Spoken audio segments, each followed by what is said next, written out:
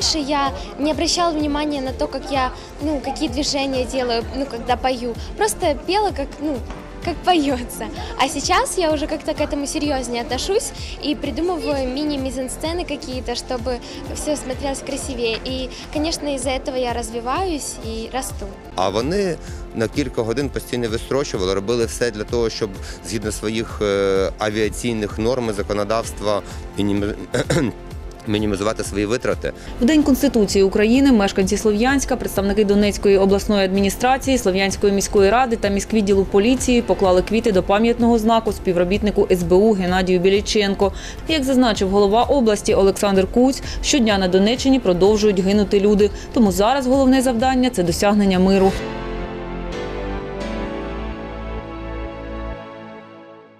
На минувшей неделе в Херсонской области госпитализировали мужчину с диагнозом ботулизм. Срочно потребовалась противоботулиническая сыворотка. В процесс поиска включились все – и врачи, и родственники, и депутаты, и даже первый вице-премьер. Все, кроме руководства Минздрава, рассказал ответственный секретарь Национальной медицинской палаты Украины Сергей Кравченко.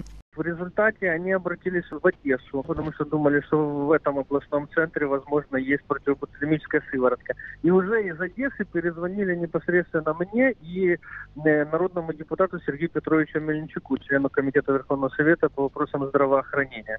Вот. В свою очередь, Мельничук по моей просьбе начал звонить руководству Минздрава, Супруну ее заместителям, но, к сожалению, никому не дозвонился. И вынужден был позвонить напрямую первому вице-премьер-министру э, Степану Ивановичу Кубеву. Степан Иванович Кубев взял этот вопрос на свой контроль.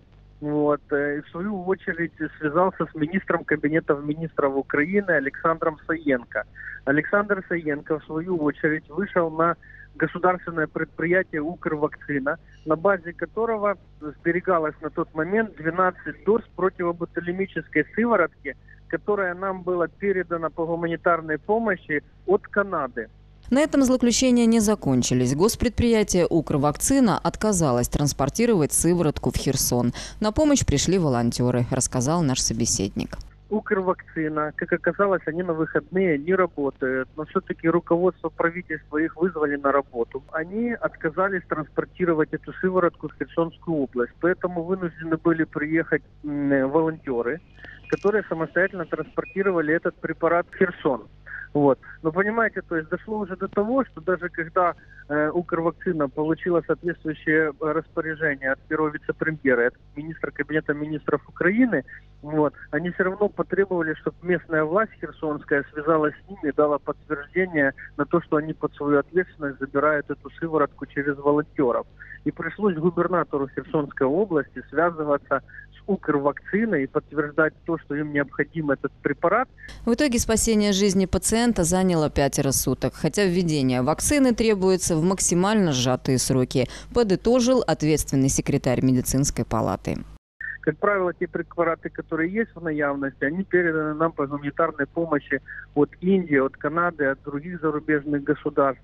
В свою очередь, Министерство здравоохранения не способно сделать адекватную за- заявку на закупки в международные организации, а международные организации не способны э, эти закупки провести по одной простой причине, потому что такие организации, как ПРООН, ЮНИСЕФ и Agent, через которые сейчас для Украины закупаются лекарственные средства изделия медицинского назначения, эти закупки не являются их основным видом деятельности, понимаете? Поэтому они не способны их выполнить вот, и реализовать. Руководство Минздрава, поясняет специалист, отменило регистрацию российского препарата противоботулинической сыворотки и ничего не сделало, чтобы создать условия для регистрации аналогичных препаратов, которые производятся в других странах. Само же руководство Министерства здравоохранения нарушает э, свои же э, приказы. А приказом Минздрава регламентировано, что пациент с подозрением на ботулизм госпитализируется не в инфекционную даже больницу, а в ближайшее лечебно-профилактическое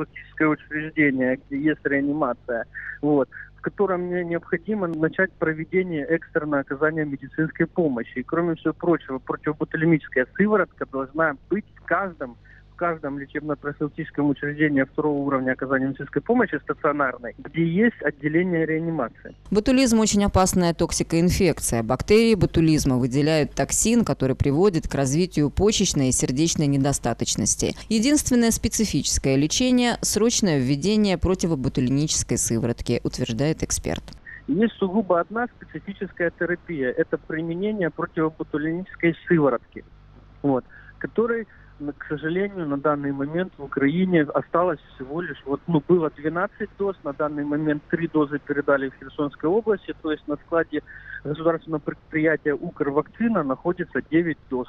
Это на все наше государство. Учитывая то, что эти 9 доз находятся в Киеве на складе Укрвакцины, и плечо доставки по территории Украины может составлять от 12 до 24-28 часов, к примеру, в Луганскую область, либо на Западную Украину, то это, конечно, катастрофа. При этом из-за отмены санитарных норм и ликвидации санитарно-эпидемиологической службы на данный момент в стране отсутствует контроль гигиены питания, сетует специалист. Те же самые случаи бутулизма, которые были в прошлом году и повлекли за собой смерть, вот, это четко было определено, что люди за- заболели, те, которые уп- употребляли пищу рыбу, которая была произведена промышле- промышленным способом и реализовывалась через сети э, супермаркетов. И даже у нас на данный момент адекватные оценки и расследования этих случаев, то есть как бы они вот за год э, проведены не были, и выводы соответствующие сделаны не были.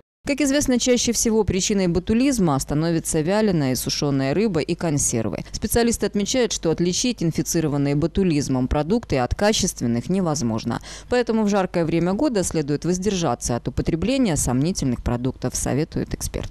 Быть предельно настороженным при выборе и покупках продуктов.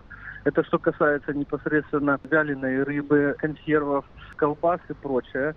Вот, поэтому они должны к этому предельно осторожно относиться вот, э, и смотреть, чтобы не были по- по- повреждены эти продукты. То есть вот они должны определять, то есть не- нет ли там зловонного запаха, либо каких- каких-то отклонений по цвету, запаху, его консистенции и прочее. И, конечно, сомнительные продукты в пищу не, не употреблять.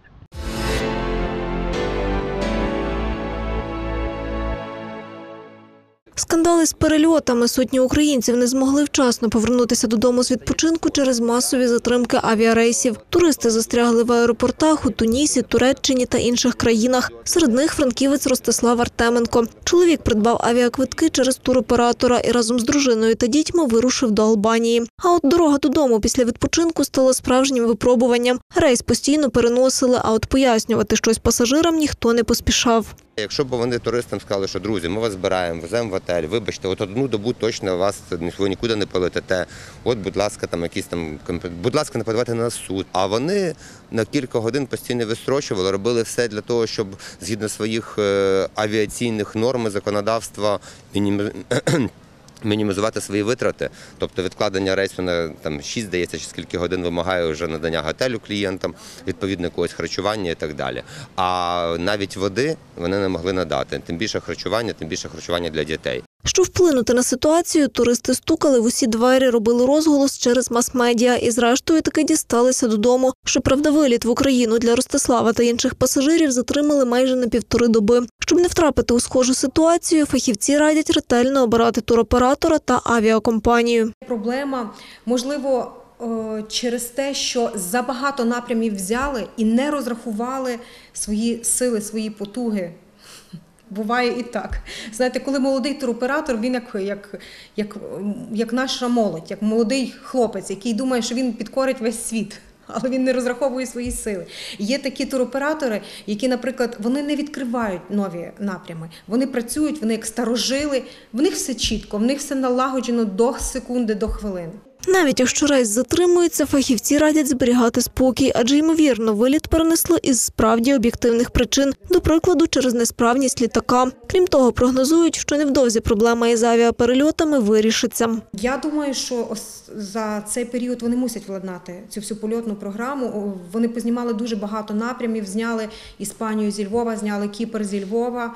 Е, Зняли е, Іспанію також е, з регіонів з Харкова, зняли Пальму де Майорку з Києва. Тобто вони зменшать зараз свої обсяги, кинуть всі сили на їхні завжди такі традиційні напрямки і налагодять Між тим туристи, які стали заручниками ситуації, вже розмірковують над тим, щоб звернутися до суду та вимагати компенсації за завдані збитки. Ольга Рега, Сергій Попович, телеканал 402.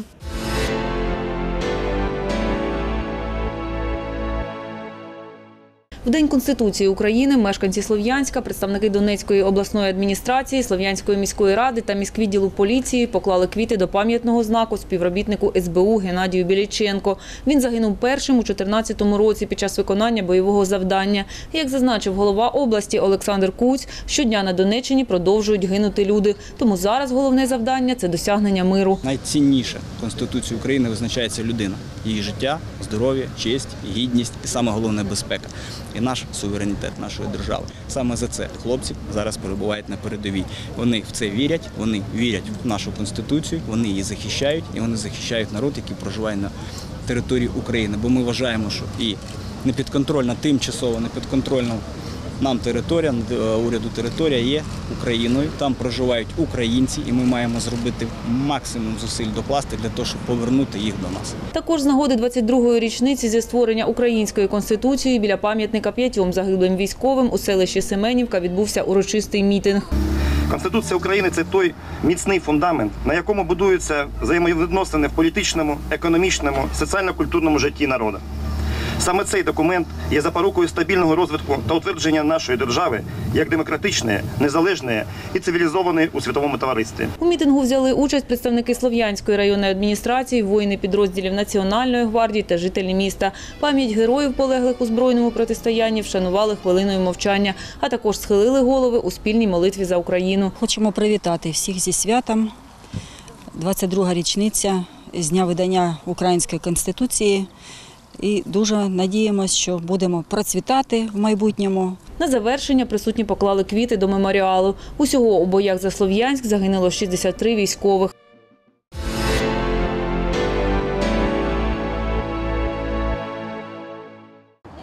Нагоди третьої річниці дня створення національної патрульної поліції на соборній площі поліцейські міста демонстрували свої професійні вміння. Глядачами стали юні буковинці, які також мали змогу випробувати себе в ролі полісменів. Лейтенант патрульної поліції Тетяна Альбота опанувала спеціальність кінолога. Як розповідає сама жінка, вона пішла в поліцію, щоб підтримувати порядок, в той час як військові обороняють суверенітет країни. Прийшла служити та захищати наш народ. Е, Хочеться підтримати хлопців, які зараз воюють в АТО. Е, Хочеться, щоб був спокій в нашому місті і наші мешканці почували себе безпечно. Напрямку виховую службових собак, е, патрулюю такі місця, як сквери, парки, там дачні масиви, тобто де не може проїхати автопатруль. Е, Собачка у нас йде на затримання, тобто, якщо злочинець починає тікати, то вже працює собака. От в такому напрямку. 4 липня є не тільки днем національної поліції, а й датою створення патрульної поліції. З нагоди свята керівник патрульної поліції міста Артур Шкроп звітував про трирічні досягнення оновленої служби та поділився ідеєю під назвою Проведи день з поліцією. Хлопці, по- попробувати вдягнути на себе противогаз, спробувати щит, одягнути на себе бронежилет, познайомитися з шкільними офіцерами поліції. Натхнений новим досвідом школяр Андрій замислюється над майбутньою професією та ділиться враженнями від побаченого. Я хочу стати поліцейським, поліцейським для того, щоб зробити світ хорошим. Дошкільнят навчили правилам дорожнього руху та основним прийомам рукопашного бою. Також кожна бажаюча дитина мала змогу поставити правоохоронцям будь-які запитання, поїздити в поліцейському авто та приміряти на себе елементи професійного обмундирування. Ірина Туряк, Микола Швець, Андрій Соколовський, Чернівецький репортер, телеканал Чернівці.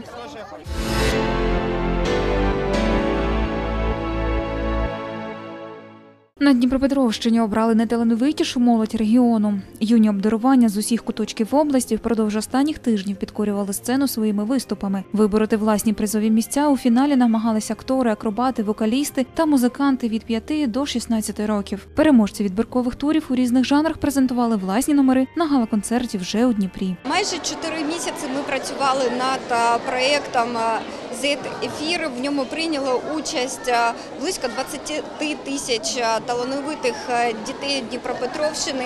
Ми об'їхали всю область, завітали до великих та маленьких міст нашої області, і ми розуміємо, що дуже багато дітей, котрі займаються різноманітними жанрами творчості. Це і хореографія, і вокал, інструментальний жанр, театральний, оригінальний жанр.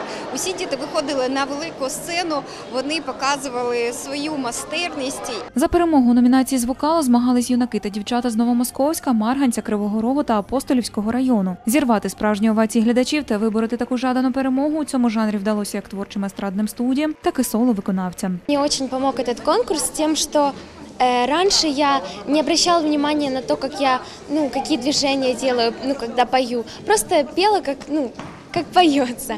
А сейчас я уже как-то к этому серьезнее отношусь и придумываю мини-мизансцены какие-то, чтобы все смотрелось красивее. И, конечно, из-за этого я развиваюсь и расту. Власними вміннями глядачі вражали як професійні, так і аматорські творчі колективи та юні артисти з усіх куточків регіону. Прочарувати публіку своїми театральними постановками змогли і дітлахи з Покровського району та Першотравенська. Я вирішила участвовать в этом конкурсе, потому что поняла, что здесь будет очень много людей и детей, которым я познакомиться. Почему ты выбрала именно такой жанр? Почему не танцы, не пение?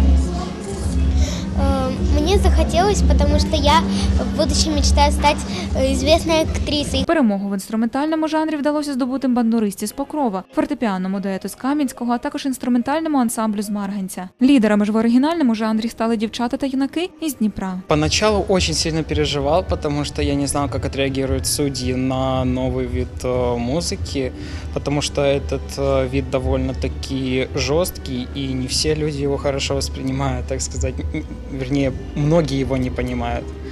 Но судьям очень понравилось мое первое выступление, и э, я загорелся, и вот сегодня сделал прям самый сок. Юні учасники представили більше 40 номерів у п'яти різних жанрах. Вони намагались підкорити журі професійною грою на музичних інструментах, запальними танцями та яскравими костюмами. З поміж десятків виступів, представлених талановитими хлопцями та дівчатами, журі обрало 17 найкращих, які стали переможцями конкурсу. Это дети. Это самая сложная категория, которую нужно оценивать. Как их оценивать, когда они все безмерно талантливы, они просто гениальны. Здесь невозможно оценить.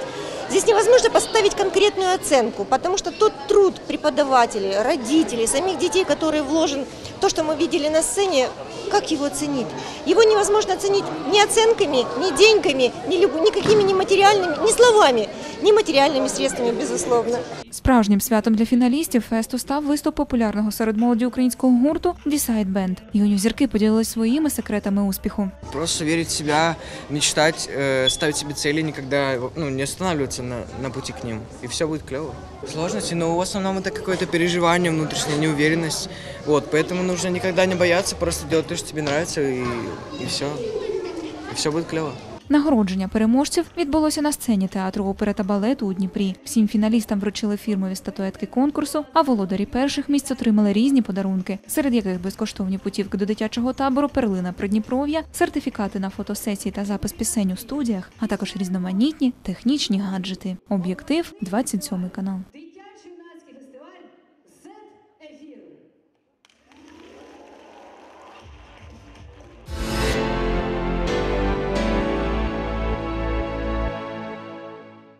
Режиссер несколько лет работал в Германии и отмечает, что сама система управления театрами там построена совсем иначе, чем в Украине. Часто, допустим, если это небольшой город, и там, допустим, есть два театра, они, грубо говоря, опера-хаус и шаушпиль-хаус, то есть э, оперный театр и драматический, чаще они объединены под одно финансирование и объединены под одно руководство. Там есть некий такой интендант, это такой главнокомандующий, да, то есть человек, который руководит сразу двумя коллективами. В каждом из этих театров есть свой руководитель, и, конечно, интендант не имеет права прийти и сказать, так, а что у тебя вот этот актер занятый не здесь? В украинских же театрах сейчас все зависит от конкретного руководителя, насколько он активен, прогрессивен и хочет ли что-то менять. У нас, в отличие от того же немецкого театра, не выстроена некая система, кто в лес, кто по дрова. Ну, то есть, все зависит от э, личности руководителя. Все зависит от неких персоналей. То есть, пришел в театр, там какой-нибудь умный, прогрессивный, интересный, молодой э, специалист со своей командой и так далее. Все, театр пошел сразу, начал развиваться. Работа в команде – это также отличительная черта европейских театров, отмечает худрук «Золотых ворот». Ни одно решение не принимается единолично. Не может быть одного человека, который кто-то что-то говорит другим людям, и все слушают и, и не думают в этот момент. Все решается в команде. И для меня, когда я первый раз поехал туда, это был 2015 год, это было самое тяжелое, потому что я привык, что я могу сам принимать решения и сам нести за них ответственность, как бы, а мне все надо в команде. Существует на Западе и четкая организация всех без исключения творческих процессов. Это дисциплинирует, повышает уровень ответственности и так намного проще работать, признает режиссер. Ты в первый день репетиционный получаешь план э, до премьеры. И причем очень подробный план, когда у тебя появятся пробные костюмы, когда вот твои костюмы появятся, когда пробный грим, когда грим тот. То есть у тебя как бы очень организована работа, даже я бы сказал стерильно организована. И, конечно, украинский режиссер, привыкший работать в украинских реалиях, не всегда таких организованных, он, безусловно, теряется в какой-то момент, но потом находит себя. Помимо столь четкой организации творческого процесса, европейцы предусмотрели и социальные гарантии труппы. Ты имеешь право заболеть. Вот есть такое понятие, и ты не можешь больным прийти. Потому что если ты пришел работать, значит ты работаешь. У тебя есть страховка, она тебя обеспечивает в этот момент и так далее. То есть у них нет момента там, как у нас там часто учат, особенно в театральных вузах, и нас так учили. Вот если ты шел на репетицию, и трамваем тебе перерезал голову, значит возьми голову под руку иди на репетицию. И есть по утверждению нашего гостя некоторые различия и в зрительской среде западного и отечественного театра, хоть и не столь ощутимые. Германии в связи с финансовым более лучшим положением, да, и так далее, может быть больше э, возрастных людей в связи с тем, что они имеют время на это, они имеют возможность, да. Конечно, когда ты э, живешь одно количество времени в Германии, наблюдаешь этих бабушек и дедушек, опрятно одетых, подстриженных, которые утром себе в кафе пьют там кофе с круассанами или маффинами, да, тут ты начинаешь задумываться, блин, почему же у нас такого нет? Украинские театры можно преобразить по принципу европейских, однако в этом должен быть заинтересован не один человек, а целое подразделение и структуры, уверен худрук «Золотых ворот». Но, по его мнению, начинать надо с малого, внедряя опыт европейских коллег, насколько это возможно. Я думаю, что в украинских реалиях это возможно сделать в связи со схожестью финансирования. Но хотят ли этого те люди, которые возглавляют разные украинские театры, и наше министерство, да, и департаменты, потому что это очень непросто все время быть, это, ну, некая такая попытка горизонтальной системы власти. Вот у нас в театре мы это пробуем делать, да, когда я, например, иногда не знаю, что происходит в каком-то отделе, я вижу уже только результат.